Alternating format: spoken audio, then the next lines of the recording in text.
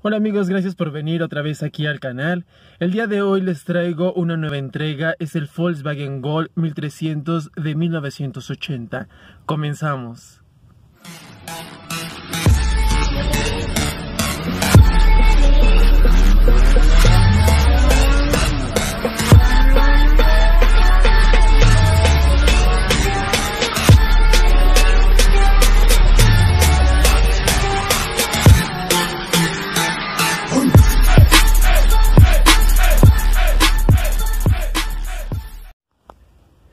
Bien amigos, aquí está el fascículo número 18, el Volkswagen Gol 1300 de 1980 y aquí está la miniatura. Me gustó mucho el color, es un color pastel muy ochentero, principios de los 80 finales de los 70 y bueno, pues la parte de atrás solamente el precio de 329.90 así es que pues vamos a abrirlo para ver qué es lo que nos entregan.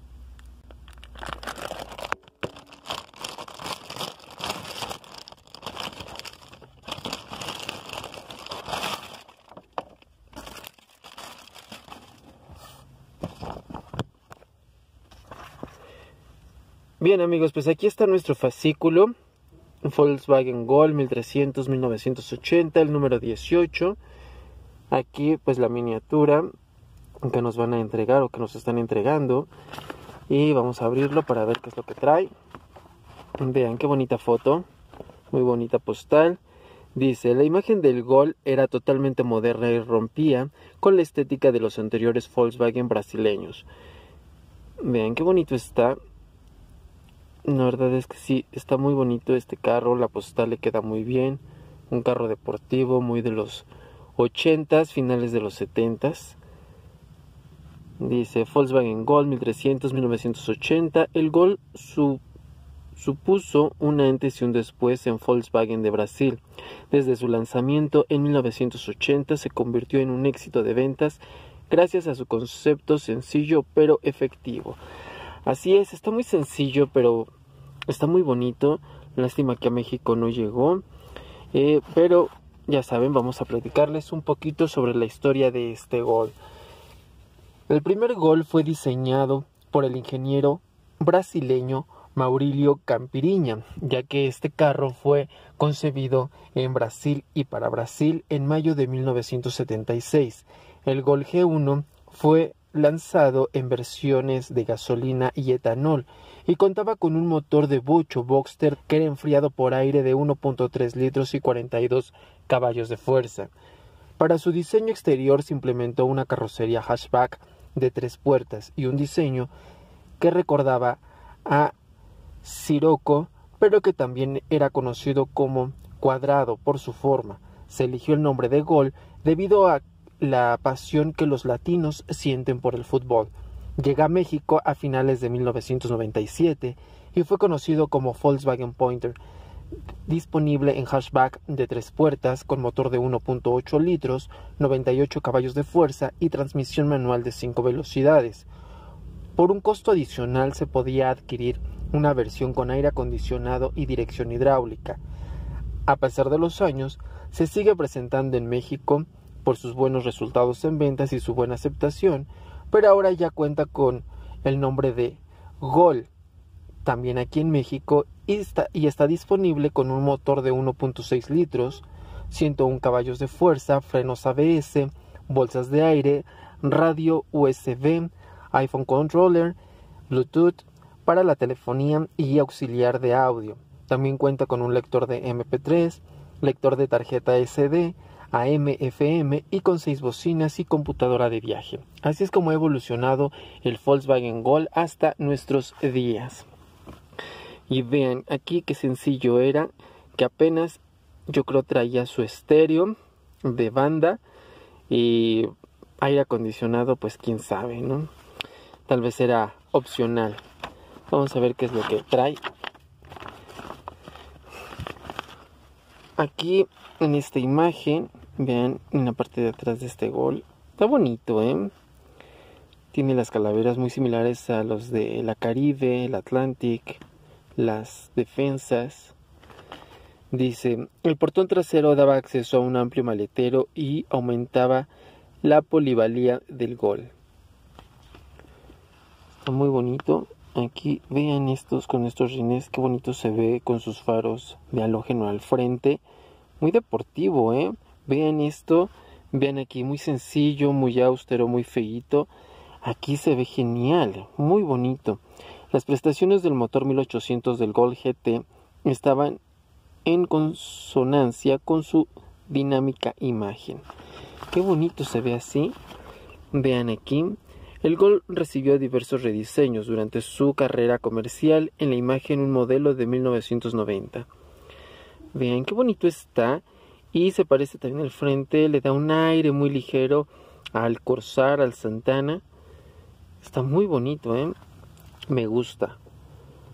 Aquí esta versiones, qué bonitos están. Con 2 litros de cilindrada, el Gol GTI era un auténtico deportivo. Qué bonito se ve así en deportivo. Me agrada, ¿eh? Bastante.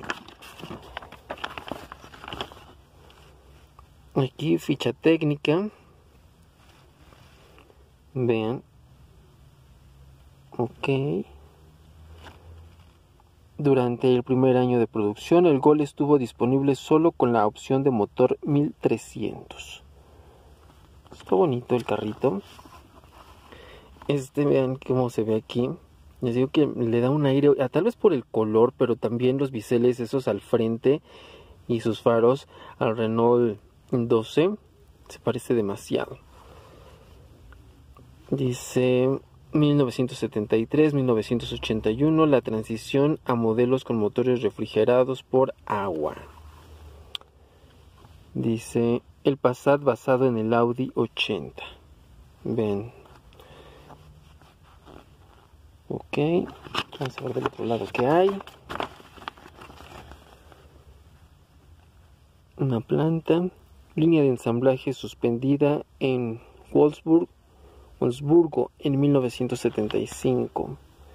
Volkswagen se centró en aumentar sus exportaciones especialmente a Estados Unidos. Ok, vean estos camiones. Presentación de la LT en Hanover en mayo de 1975. Está muy bonito este camión, eh. Qué bonito. Volkswagen amplió gradualmente su gama de vehículos comerciales a partir de 1975. ¡Wow! Gran dato. Y por último tenemos este rojito, el Polo Formel E, con un consumo de combustible más bajo en 1980. Véanlo. Está bonito. Me agrada el carrito. Y bueno, pues acá tenemos la miniatura, véanlo, me gustó mucho su color, este verde pistache. Está muy bonito el color. Vean sus calaveras. Les digo que se parece mucho a las del Atlantic o Caribe. Su frente. Pues bueno, vamos a sacarlo para apreciarlo mejor. Y bueno, pues acá ya saben las licencias, su holograma de autenticidad y pues abrirlo para poderlo apreciar mejor. Bien amigos, pues ahí está fuera de su empaque. Vean qué bonito está. Tiene un espejito. Ya saben, en esa época pues era opcional el lado pasajero. Y vamos a sacarlo de este caparazón, de este blister para poderlo ver bien. Ok amigos, pues ahí está el gol. Vean qué bonito está su frente, esa parrilla, qué bonita está. Muy sencillo el carrito, pero está hermoso. Sigo encantado con el color. Sus interiores, ya saben, muy bien detallados en esta colección. Vean esos rines, su mofle cromadito. Qué buen detalle. Muy buen detalle ese moflecito cromado, véanlo. Muy bien. Su fascia o defensa con sus gomas laterales como era en aquel entonces, sus calaveras, la defensa cromada con la línea negra que era de goma. Vean qué bonito está. me da la impresión como una Caribe aplastada, vean desde ahí. Pero está bonito. Véanlo. Está muy padre, me gusta mucho. Vean. Igual al frente, esa fascia o defensa en cromo, con sus laterales de goma, los cuartitos como los traía la Caribe. Está muy muy bonito. ¿Ustedes les gusta? ¿Ustedes lo, lo tienen, amigos de Brasil y de otras partes de Latinoamérica donde sí llegó? Cuéntenme cómo ha sido su historia en estos carritos, les gustan, no les gustan y cómo ha evolucionado muchachos. O sea, vean qué sencillo, qué austero es y hoy día pues es un carro de gama baja, pero ya tiene todas las amenidades y novedades de última generación con computadora de viaje, estéreo para el iPhone, con Bluetooth, para el teléfono, en fin, y en esta época pues que estar pensando en esas cosas, con que tuviera un radio y ya era un carro totalmente equipado. Pues ahí está amigos, es el Volkswagen Gol 1300 de 1980. Muy bien amigos, pues ahí está el Volkswagen Gol 1300 de 1980. Está muy bonito, lástima que a México nunca llegó. Eh, sin embargo, pues llega a, México pues ya modernizado hasta 1997, a finales de ese año. Y hasta el día de hoy pues se sigue comercializando con el nombre de Gold. Al principio fue como Pointer, pero bueno, así es como nos lo presenta Volkswagen. Ya saben, síganme en el canal, suscríbanse, activen la campanita de notificaciones que me ayuda a seguir subiendo videos. Y también si ustedes quieren que platiquemos, quieren platicarme, escribirme, contarme sus historias con sus autos, como muchos lo hacen y la verdad es que me agrada mucho leerlos. Síganme en mis redes sociales y nos estamos viendo en un próximo video. Bye.